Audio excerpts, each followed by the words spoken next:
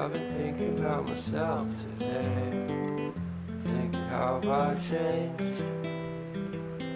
How I really don't care if you are here or if you don't stay. Now I'm feeling those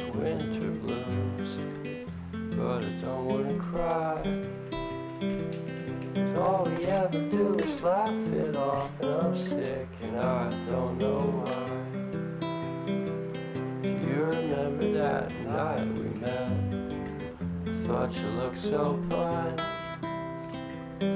Guess we have to agree to for this one last.